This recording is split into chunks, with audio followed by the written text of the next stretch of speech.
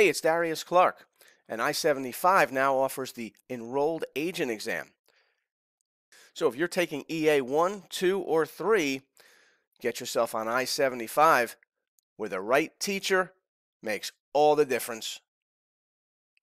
And today we're going to cover a tough topic in EA2, which is partnership basis.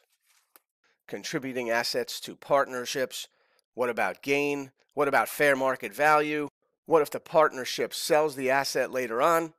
And what about someone contributing services in exchange for a partnership interest? These are all partnership topics on EA2. So get on I-75 with Darius Clark and be home soon.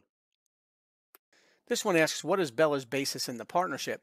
So Bella acquires a 50% interest in a partnership by contributing property with a basis of 10,000 and a fair value of 50,000. The property was subject to a liability of 30,000 which the partnership assumed. What's Bella's basis in the partnership? It's zero.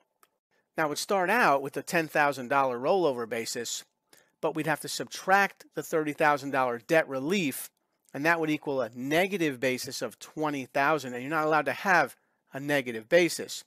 So that's going to trigger a gain, but before the gain's recognized, partner Bella gets to add 15,000 to her negative basis. Why? 50% of the $30,000 mortgage that's assumed by the partnership, Bella is responsible for.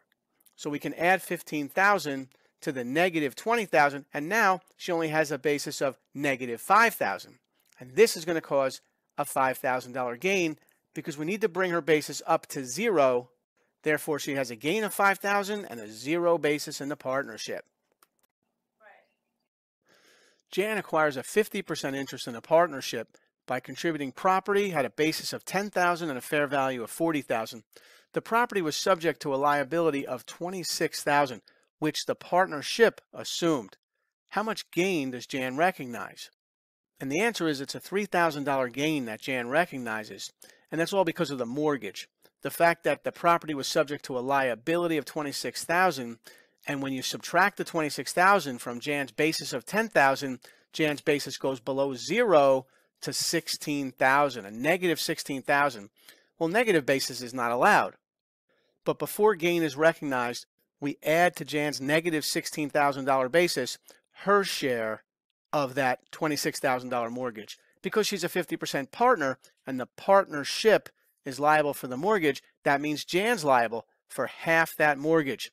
So add 13,000 to her negative basis. So add 13 to a minus 16,000. And what's her negative basis now? Minus 3,000. So because it's minus 3,000, we have to bring it up to zero. And the only way to do that is a $3,000 gain is triggered. So the answer is letter A, a $3,000 gain for Jan, and she has a zero basis in the partnership. And it's all because the debt relief was so much greater than her original basis. Notice we ignored the fair value of 40,000 completely. That's just distractor. Because when assets go into a partnership, they always go in at basis. We never look at the fair value. And there's usually no gain. The only reason there's a gain here is because of the liability. The debt relief is what triggered the gain.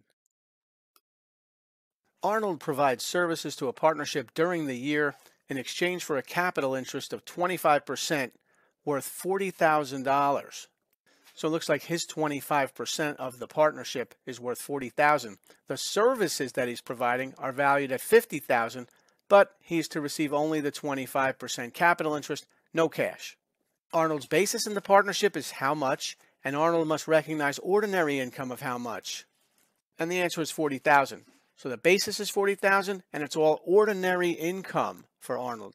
Because when someone performs a service, the fair value of what they receive is ordinary income. And what did Arnold receive? 25% of the partnership, and they told us it was worth 40,000. Notice that the services are valued at 50,000, but that's not what Arnold received. So that's why 50,000 is not relevant, but 40,000 is because that's what was received for performing the services. On June 1st, year 1, Murray contributed land in exchange for a 20% partnership interest in Madison Partners. The fair market value of the land at that time was 60,000 and Murray's adjusted basis was 20,000. So Murray is helping to form Madison Partners. And he's putting in land, getting a 20% partnership interest. And that all happens on June 1st, year one. A few years later, on October 5th of year four, Madison distributed that land to another partner. So the partnership took that land that Murray had contributed and distributed it to a different partner. The fair market value at the time was 65,000. What is the amount of Murray's recognized gain? Murray, the partner that contributed that land. What's Murray's recognized gain from the transfer of the land by Madison to that other partner? And the answer is 40,000, letter A. Generally, no gain is recognized when assets are contributed to a partnership with a built-in gain. Notice there's a built-in gain at the time this land was contributed. The basis to Murray was 20,000. The fair market value was 60,000. And we're not saying there was a gain on June 1st, year one, because when Murray contributed the land, there was no gain that day. But if the partnership sells the land within seven years of contribution, you have to know that that would trigger that built-in gain and the whole gain will be taxable to Murray because the partner who contributed the asset recognizes gain to the extent of the excess of fair value over basis at the date of contribution. For this reason, Murray recognizes a $40,000 gain when the asset is transferred to a different partner. This is to prevent people from forming a partnership simply to avoid gift taxes. Without the seven year rule, the IRS would look at the transfer like it's a gift from Murray to the other partner. Because what if the other partner was Murray's daughter?